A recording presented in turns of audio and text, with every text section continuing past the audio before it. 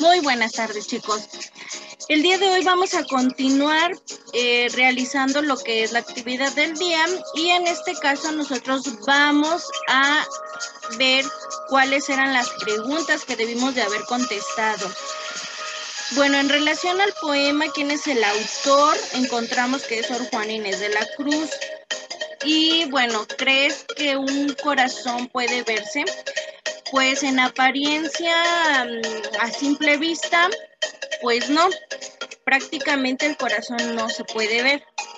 Tiene muchas formas, pero eso es conforme el hombre le ha puesto, este, digamos, una figura, una forma como tal a lo largo del tiempo. ¿Cuál es el recurso literario que usó Sor Juan Inés de la Cruz? El que más se destaca es el de personificación. ¿Cuál es el tema de ese poema? Se puede decir que el amor, sin embargo, el poema recrea ciertas situaciones o ciertos acontecimientos. La oración subrayada en azul se encuentra en el orden sujeto, verbo, complemento.